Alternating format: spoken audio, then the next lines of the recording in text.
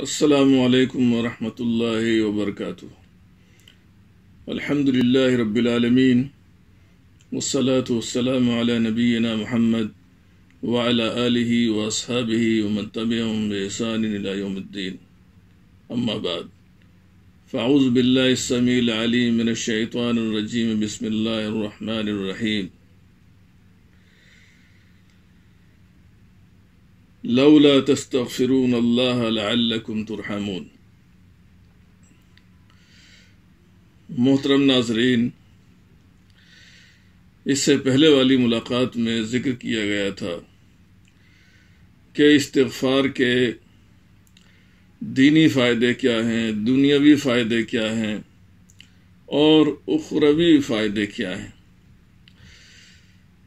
आज भी इसी सिलसिले में आपसे कुछ गुफ्तगु होगी। इस्तग़फ़ार के फ़ायदों में से एक अहम तरीन फ़ायदा ये है कि गुनाहों के नतीजे में इंसान के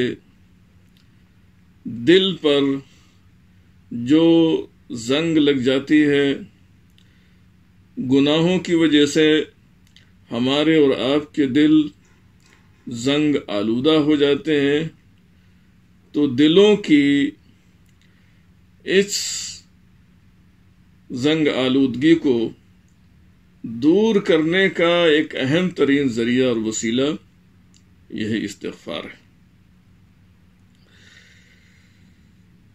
लिहाजा अल्लाह के रसूल सल्लल्लाहु अलैहि वसल्लम का इरशाद है इस सिलसिले में। आपने फरमाया है इन अलमुमिना इदा अदनबा कानत नुकततों सौदा फ़ी कल्बी जब कोई मोमिन गुनाह करता है तो उसके दिल में एक सियाह नुक्ता बन जाता है सियाह नुक्ता पैदा हो जाता है फ़ैन ताबा व नज़ा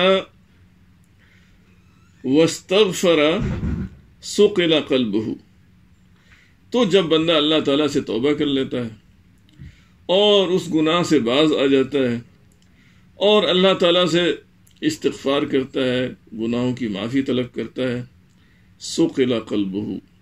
तो उसका दिल गुनाहों की उस जंग से पाक और साफ़ हो जाता है। लेकिन अगर ऐसा नहीं होता है, बंदा ना तो अल्लाह ताला से तौबा करता है, ना गुनाह छोड़ता है और ना ही इस्तगफार करता है।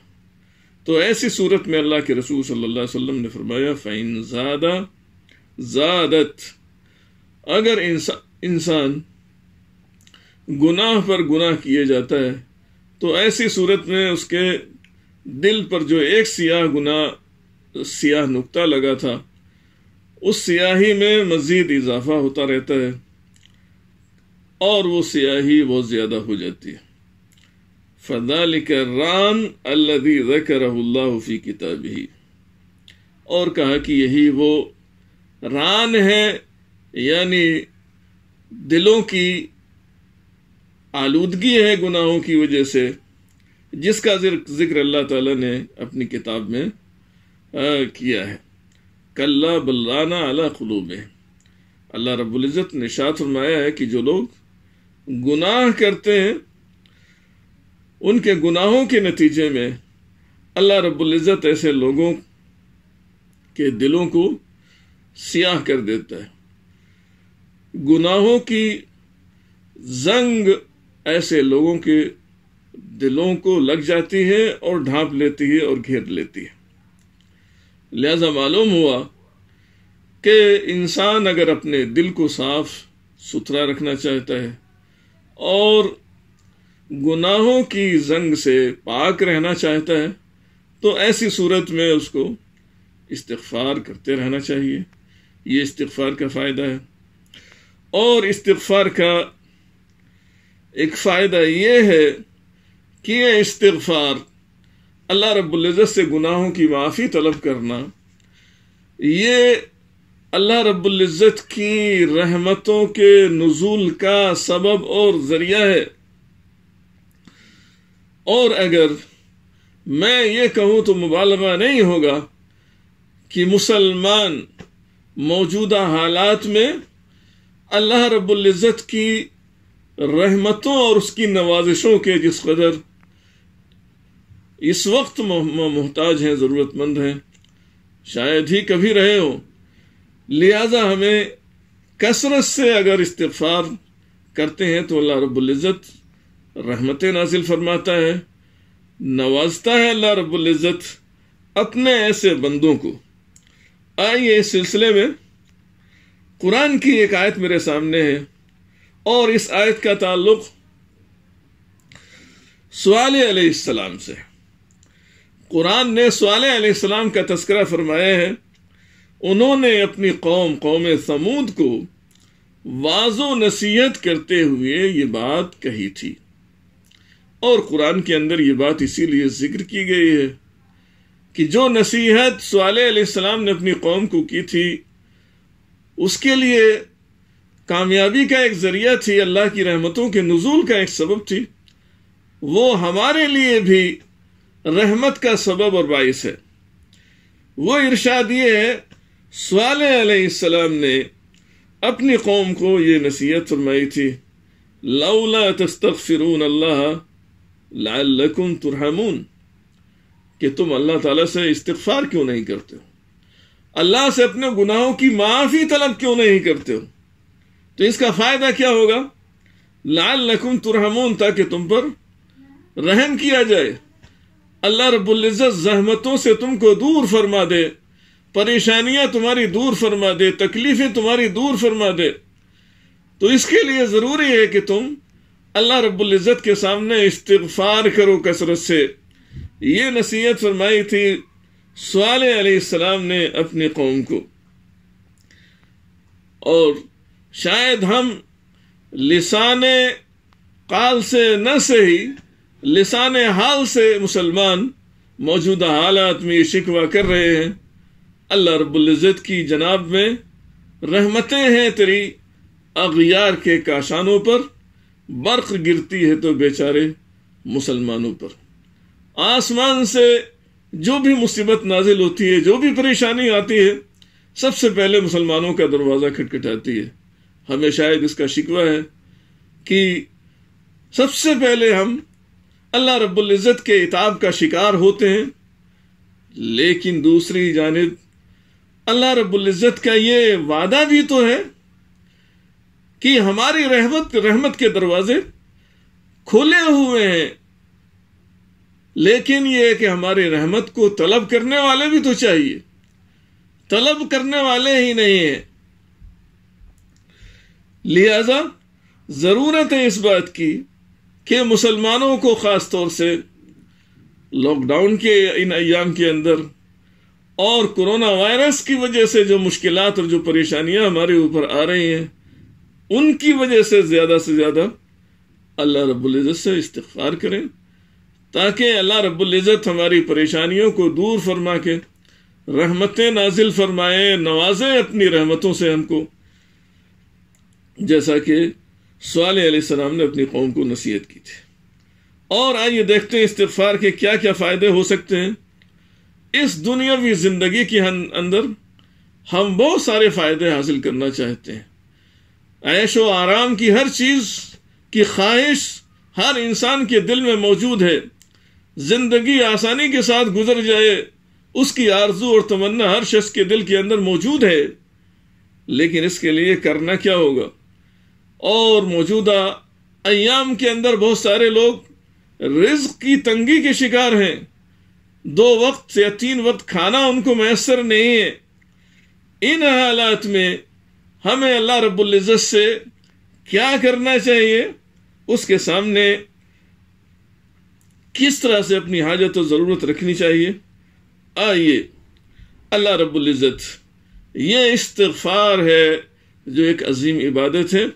इसके नतीजे में अल्लाह रब्बुल दुनिया की जो मुश्किलात है, परेशानियाँ हैं, वो तो दूर फरमाता ही है।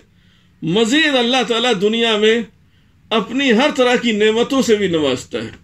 सेहत व तंदरुस्ती अता फरमाता है। और इसी तरीके से रिज्क की कुशादगी अल्लाह रब्बुल्ज़त अता फरमाता है। आइए, अल्लाह रब्बुल्ज़त का इरशाद है। और ये नसीहत, या वसीयत के ये अल्लाह रब्बुल इज़्ज़त ने अल्लाह के रसूल सल्लल्लाहु अलैहि वसल्लम के वास्ते से इस उम्मत के अफराद तक पहुंचाई है। क्या है? वानिस्तगफिरू रब्बकुम तुम तुबू इलैहि। अल्लाह ताला की तरफ़ से ये हुक्म है, कहा कि वानिस्तगफिरू रब्बकुम, अपने रब से मगफरत तलब करो। सुम्मा तुबू इले और फिर उसी की तरफ़ मुतवजे रहो। तो इस्तगफार और तौबा, इसका फ़ायदा क्या होगा बंदों को? अल्लाह ताला फरमाता है युमत्तिउकुम मतन हसना इला अजलिम मुसम्मा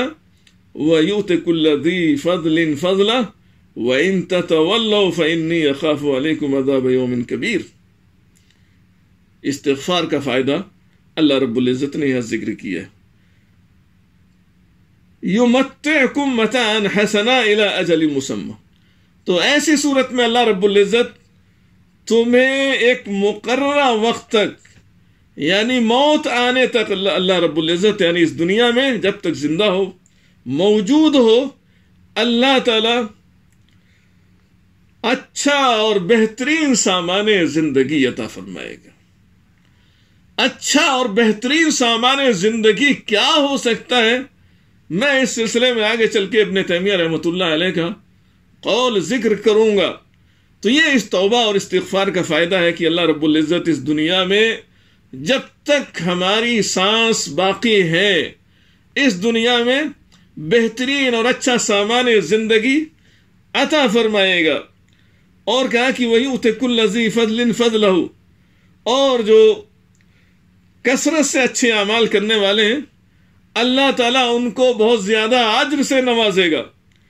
और उसके बाद इशाद फरमाया व इन तवल्लो और अगर तुम रूगरदानी करोगे अल्लाह ताला से अपने गुनाहों की माफ़ी तलब नहीं करोगे, तोबा नहीं करोगे। तो ऐसी सूरत में क्या होगा? अगर तुमने इराज से काम लिया फ़ैन अखाफ वालेकुम अदाब यौमिन कबीर। तो कहा कि मुझे अंदेशा है, खौफ है अल्लाह के रसूल सल्लल्लाहु अलैहि वसल्लम से कहलवाए गए। मुझे अंदेशा है, खौफ है। तुम्हारे सिलसिले में बड़े दिन के अजाब से, यानी कयामत के दिन के अजाब से, कयामत के दिन इस्तफार अपने गुनाहों की माफ़ी ना चाहने के नतीजे में, तोबा ना करने के नतीजे में बहुत बड़े अजाब से दो चार होना पड़ सकता है। ये वहीद सुनाई है, अल्लाह रबुल्ज़त ने उन लोगों को जो इस्तफार नहीं करेंगे, तोबा नहीं करेंगे। आइए देखते हैं, अल्लाह ताला ने इस इस्तफार तौबा के नतीजे में अच्छा सामान ज़िंदगी अता करने का वादा किया है। वो अच्छा सामान ज़िंदगी क्या हो सकता है? इबन तैमिया अलैह इसकी तफसीर बयान करते हुए कहते हैं वल हसन फिल जिस्म व फिल बदन. ये अच्छा सामान ज़िंदगी, इसका ताल्लुक इंसान के जिस्म से भी है, बदन से भी है। कहा कि वलदाल का यदरउल्लासाब इसीलिए अल्लाह रब्बुल इज़्ज़त जिस्मानी, बदनी जहनी बीमारियों, परेशानियों को अल्लाह ताला दूर फरमा देगा इंसान की। आप सोचिए कि अल्लाह ताला की तरफ़ से कितना बड़ा इनाम है, इकराम है ऐसे लोगों के लिए जो इस्तफार करते हैं, कि अल्लाह ताला उनकी जहनी, जिस्मानी सारी परेशानियों को दूर फरमा देगा। और आजकल हम जिस्मानी परेशानी और जहनी परेशानियों के भी शिकार है कोरोना वायरस की वजह से। अल्लाह ताला इस तरह की मुसीबतों को भी दूर कर देगा।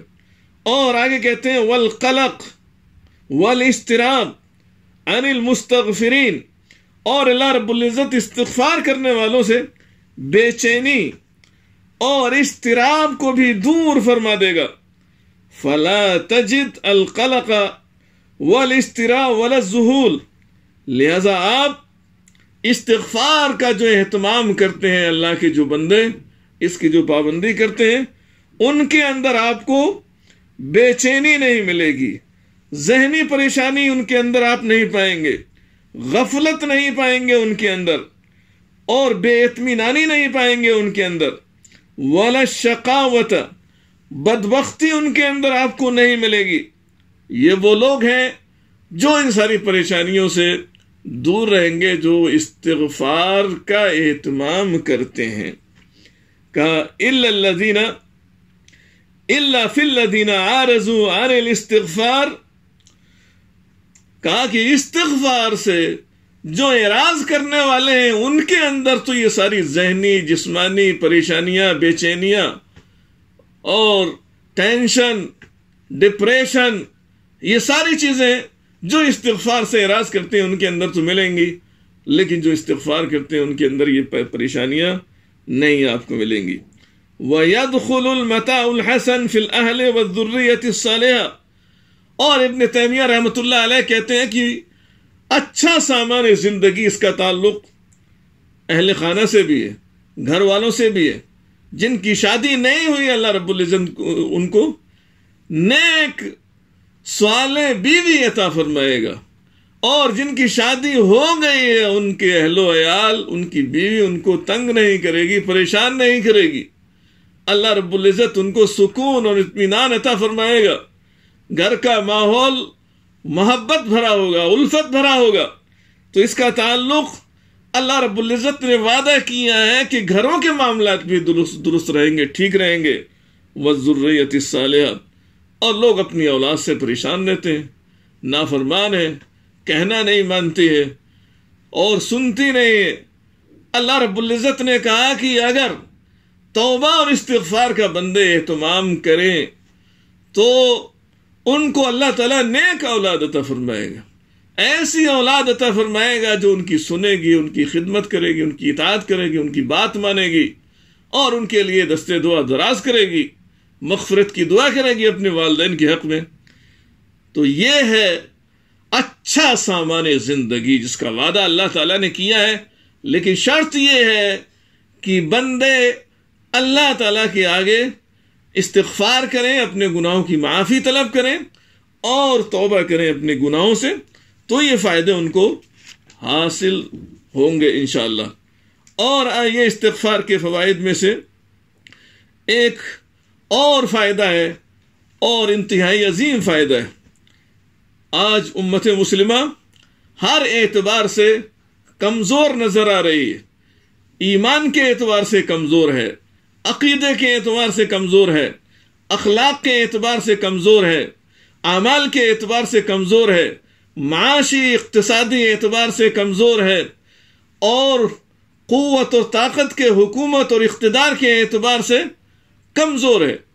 गोया कि हमारी ज़िंदगी का कोई ऐसा पहलू नहीं है, जिसमें हम ये कह सकें कि हम वाकई ताकतवर हैं, हमारे अंदर क़वत और ताकत पाई जाती है हर एतबार से इस वक्त दुनिया में मुसलमान कमज़ोर है।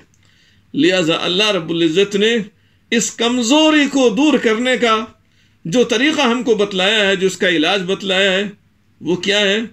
वो इलाज इस्तफार है। कसरत से उसका एहतमाम किया जाए, ये इस्तफार है। आइए, ये फ़ायदा अल्लाह रब्ज़त ने किसको बतलाया था? हूद सलाम है। हूद सलाम ने अपनी कौम कौम आद से ये बात कही थी। कुरान ने इस बात को ज़िक्र किया है। सूर्य हूद की आयत नंबर ये बावन है।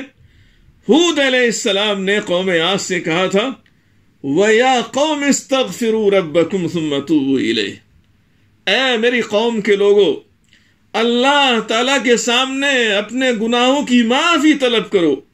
सुमतूबू इले और उससे तौबा करो। उसी की तरफ़ तुम मुतवजह रहो।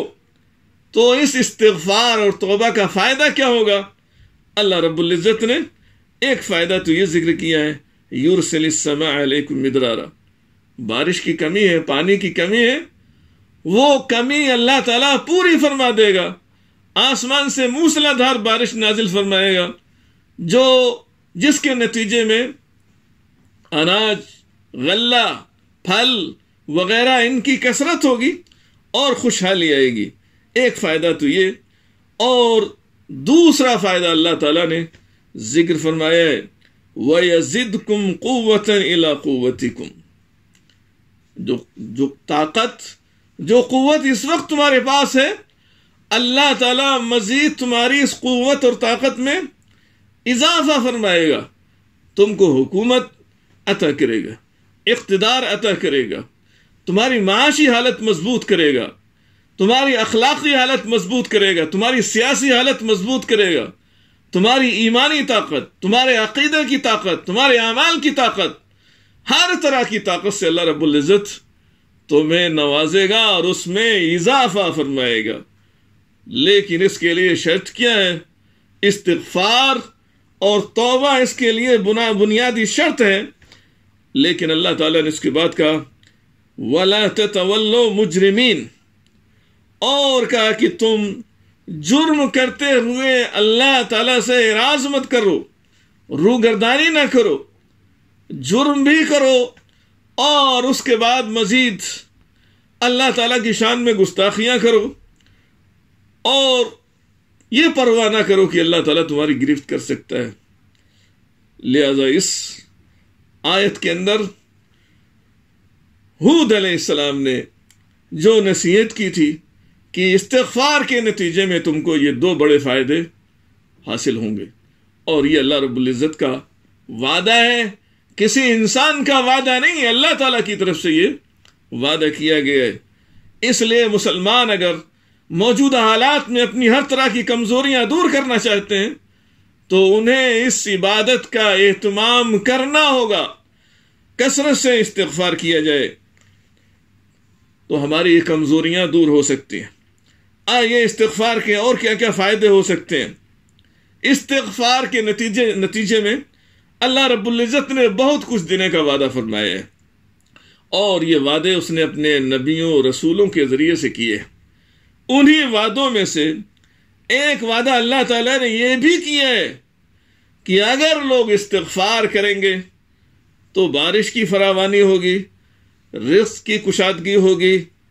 अल्लाह ताला औलाद से नवाजेगा, माल की फरावानी होगी, इकतसादी और माशी हालत लोगों की अच्छी होगी। आइए देखते हैं कि ये वादा अल्लाह ताला ने कहा किया है। नूह सलाम ने अपनी कौम से कहा था सूर्य नूह की आयत है फ़कुल तुस्तगफिरु रब्बकुम इन्नहु कान गफ्फारा युरसिल अलैकुम मिदरारा व युमदिदकुम बिअमवाल व बनीन व यजअल लकुम जन्नात व यजअल लकुम अनहारा सूरह नूह की ये आयत नूह सलाम ने अपनी कौम से कहा फ़कुल तुस्तगफिरु रब्बकुम मैंने कहा अपनी कौम के लोगों से जिन्होंने साढ़े नौ सौ साल तबलीग की अपनी कौम को ईमान लाने के लिए कहा, तुम अपने रब से इस्तफार करो। गुनाहों की माफ़ी तलब करो। क्यों? इन नहू का न गफ्फारा। इसलिए कि अल्लाह रब्बुल इज़्ज़त गफ्फार है। गुनाहों को बहुत ज़्यादा माफ़ करने वाला है। अल्लाह ताला से माफ़ी तलब करो तुम अपने गुनाहों की। लिहाजा इस इस्तफार का फ़ायदा क्या होगा? एक फ़ायदा नहीं है इस्तफार का। यहाँ कई फ़ायदे इस्तफार के ज़िक्र किए हैं, नूह सलाम ने। कहा यूरसलकुम मिदरारा सबसे पहला फ़ायदा इस्तफार का। कहा, अल्लाह रब्बुल्ज़त तुम्हारे ऊपर आसमान को बरसता हुआ छोड़ देगा। मूसलाधार बारिश होगी। कैद साली का शिकार हो चुके हो। बारिश नासिल नहीं हो रही है। बारिश की कमी नहीं होगी। और हम जानते हैं कि पानी ज़िंदगी के लिए कितना अहम है दुनिया वालों के लिए। और जितने भी हम रौनक, हरियाली दुनिया के अंदर देख रहे हैं, ये पानी की मरहून मिन्नत है। लिहाजा अल्लाह ताला ने वादा किया कि इस्तफार अगर बंदे करेंगे तो पानी की कमी नहीं होगी। वयुम दिद कुम बे अमवाल और अल्लाह ताला ने वादा फरमा, अल्लाह ताला तुमको हर तरह के माल से नवाजेगा। हर तरह की दौलत से नवाजेगा। वह बनीन। और अल्लाह रब्बुल इज़्ज़त बेटों से, बेटियों से औलाद की कसरत होगी। इससे नवाजेगा अल्लाह रब्बुल इज़्ज़त। दुनिया में कौन नहीं चाहता है कि औलाद भी उसके पास हो, माल की कसरत भी उसके पास हो, हर इंसान चाहता है। वह यजअल लकुम जन्नत। और अल्लाह रब्बुल इज़्ज़त बागात पैदा कर देगा तुम्हारे लिए। जिनसे तुमको फल हासिल होगा और रिस्क में कुशादगी होगी। और उसके बाद कहा कि वेज लकुम अनहारा। ये चौथा फ़ायदा है, या पांचवा फ़ायदा है। ज़िक्र किया कि और अल्लाह रब्बुल इज़्ज़त तुम्हारे लिए नहरें जारी कर देगा। तो पाँच फ़ायदे अल्लाह रब्बुल इज़्ज़त ने इस आयत में ज़िक्र फरमाए हैं। एक तो गुनाहों की माफ़ी, अल्लाह रब्बुल इज़्ज़त गुनाहों को माफ़ फरमा देगा। और ये बहुत बड़ा फ़ायदा है, इससे बड़ा फ़ायदा और क्या हो सकता है? कि इंसान ने जो कुछ गुनाह किए हैं, कितने ही गुनाह किए हों? इससे पहले ये बात गुजर चुकी है। सारे गुनाहों को माफ़ फरमा सकता है अल्लाह रब्बुल इज़्ज़त। दूसरा फ़ायदा, बारिश की कसरत। तीसरा फ़ायदा, रिस्क की कुशादगी। चौथा फ़ायदा, औलाद। पांचवा फ़ायदा, माल की बहुतात और कसरत। गोया के हर एतबार से खुशहाली आएगी। ये वादा किया है अल्लाह रब्बुल इज़्ज़त ले लेकिन इस वादे को मशरूत किया है इस्तफार से, कि अगर बंदे अल्लाह ताला से कसरत से इस्तफार करते हैं, तब उनको ये फ़ायदा हासिल हो सकता है। आइए इसी सिलसिले में एक और, कि कितने मसाइल का हल इस इस्तफार के अंदर अल्लाह रब्बुल इज़्ज़त ने हमारे और आपके लिए रखा है, और हम इसकी जानब कोई तवज्जो नहीं देते हैं। मशहूर बुज़ुर्ग हस्ती ताबई हसन बसरी रहमत कहा कि, जा रजुल हसन अल बसरी फ़काल लहू। कोई शख्स हसन बसरी रहमत की खिदमत में हाजिर हुआ और उसने आकर ज़िक्र किया। काल लहू इन लम तुम तिर कि, आसमान से बारिश नहीं हो रही है। फ़काल हसन इस्तफिर हसन रहमत ने उससे कहा कि, जाओ इस्तफार करो। सुम जाहू आखर। फिर एक दूसरा शख्स आया उसने कहा अशकू अल फ़क्र। मुझे फ़क्र फाके का आ, सामना है। मैं फ़कीर मोहताज इंसान हूँ। फ़काल लहू इस्तफिर तो हसन बसरी रहमत ने उससे भी कहा कि जाओ इस्तफार करो। तुम्हारे फ़क्र फाके का ये इलाज। सुम जाहू सालिस तीसरा शख्स। आया, फ़काल लहू, इमराती आखिर तलित और उसने आकर शिकायत की कि मेरी बीवी बांझ है, उसके बच्चे पैदा नहीं होते हैं। फ़काल लहू इस्तफिर तो हसन बसरी ने उससे भी कहा कि जाओ, इसका इलाज यह है कि तुम इस्तफार करो। सुम जाहू बाद लिख और उसके पास, उसके बाद एक चौथा शख्स आया। काला लहू अजदबतिल अर्जो। फलम तुम तुम्बित। और उसने शिकायत की कि ज़मीन खुश्क हो गई है। कैस जदा हो चुकी है कैसाली का शिकार हो गई है। और पौधे नहीं निकल रहे हैं, हरियाली नहीं है। फ़काल अल्लाह इस्तफिर कहा कि जाओ तुम भी इस्तफार करो। सुम मज़ा उबाद अदालिक उसके बाद पांचवा शख्स आया। और कहा कर जफल माओ मिनल अर्ज़। कहा कि ज़मीन के अंदर पानी खुश्क हो चुका है, पानी निकल नहीं रहा है। नीचे चल, चला गया हसन बसरी रहमत ने इस पाँचवें शख्स से भी कहा इस्तफिर जाओ इस्तफार करो।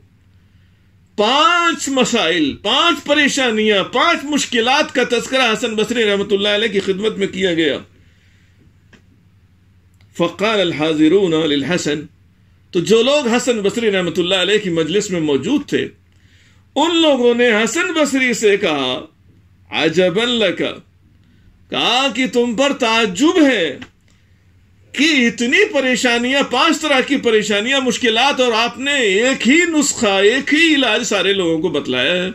इस्तफिर इस्तफिर हर एक को यह बात कही है कि इस्तफार करो। ये एक ऐसी बात है कि हर एक को यही नुस्खा आपने बयान कर दिया। कहा अवकुल्लमा जा का शाकिन, कुलता इस्तफिर फ़काल लिहाजा हसन बसरी ने जवाब दिया, लोगों को कहा अब मा करा तुम कौल मिन सूरत नू सूर नू में अल्लाह रब्बुल्ज़त का इरशाद तुमने नहीं पढ़ा है, जिसमें अल्लाह ताला ने फरमाया, फ़कुल तुस्तगफिरू रब्बकुम, इन्नहु कान गफ़ारा युरसिलकुम मिदरारा. कहा कि मैंने जो इलाज बताया है, जो हल बताया है इन परेशानियों का, वो हल वही है जो अल्लाह ताला ने सूर्य नूह के अंदर बयान फरमाया मैंने अपनी तरफ़ से कोई ऐसी बात नहीं कही है। तो ये हल है हमारी मुश्किलात और परेशानियों का बहुत सारी मुश्किलात। चाहे वो दुनियावी मुश्किलात, चाहे वो उखरवी मुश्किलात हों, हर तरह की परेशानियों का हल हमारे, हमारी इस इबादत के अंदर मौजूद है। और इसी सिलसिले में मोतमिर इब्न सुलेमान कहते हैं, कान अला अबी दैन मेरे वालिद के जिम्मा कर्ज था, वो कर्ज अदा नहीं हो रहा था। फ़काना यस्तगफिरुल्लाह। लिहाजा वो अल्लाह ताला से कसरत से इस्तगफार कर रहे थे। फ़कील लहू सल्लाह यकजी अन का अद्दैन। लोगों ने कहा कि तुम अल्लाह ताला से ये सवाल करो कि अल्लाह ताला तुम्हारे कर्ज को अदा कर दे। काला इज़ा गफर अली तो मोतमिर इब्न सुलेमान ने कहा कि जब अल्लाह ताला मुझे माफ़ कर देगा तो वो मेरा कर्ज भी अदा कर देगा पहले अल्लाह रब्बुल इज़्ज़त मुझे माफ़ तो कर दे और इसी सिलसिले में मशहूर आलम दीन अब्दुलरहमान इब्नुल जोजी और मशहूर वाइस इनसे किसी ने सवाल किया था पूछा था अयुमा अफजल कि कौन सी इबादत ज़्यादा बेहतर है, ज़्यादा अफजल है? दो इबादतें हैं मेरे सामने। कौन सी इबादत मुझे करनी चाहिए? उसब हो औ कि मैं अल्लाह की पाकी बयान करूँ, यानी सुबह अल्लाह सुबह अल्लाह कहूँ, या इस्तफार करूँ। फ़काला लियाजा अब्दुलरहमान इब्न जोजी ने उनको मशवरा दिया असौबुलवसिखु वहवजु इलसाबुन मिन अलबखूर कहा कि जो मैल, मैला कपड़ा होता है और गंदा कपड़ा होता है, उसको खुशबू से कहीं ज़्यादा किसकी ज़रूरत है? उसको साबुन की ज़्यादा ज़रूरत है।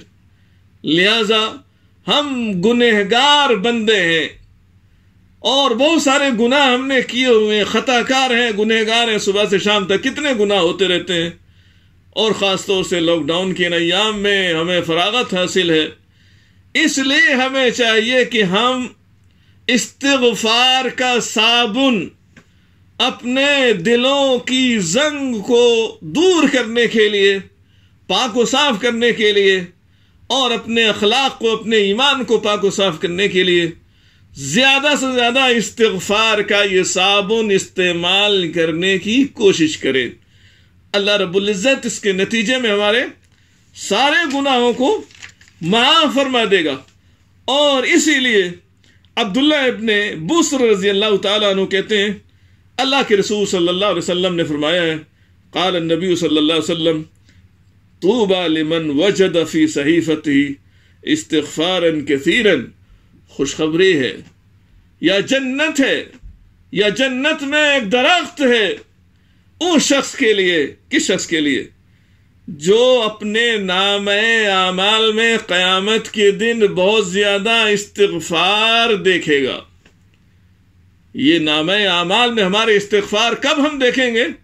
अगर हमने दुनिया में कसरत से इस्तगफार किया है, तब हमें नाम आमाल में क़यामत के दिन इस्तफार देखने को मिलेगा और उसका फ़ायदा हमें हासिल होगा।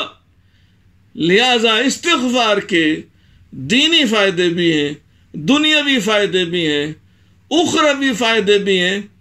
अल्लाह रब्बुल से दुआ है कि अल्लाह रब्बुल हमें अपनी जनाब में, अपनी बारगाह में ज़्यादा से ज़्यादा माफ़ी मांगने की, ज़्यादा से ज़्यादा इस्तफार करने की और ज़्यादा से ज़्यादा इस्तफार के इन फ़ायदों को जो बयान किए गए हैं, कुरानी आयात की रोशनी में और अल्लाह के रसूल सल्लल्लाहु अलैहि वसल्लम और इस उम्मत के कराम के तजर्बात की रोशनी में अल्लाह ताला हमें इस्तफार से ज़्यादा से ज़्यादा फ़ायदा हासिल करने की तोफ़ी अता फरमाए। इन ज़िंदगी रही तो फिर किसी मौके से मुलाकात होगी। वाखरुदावान रबालमीन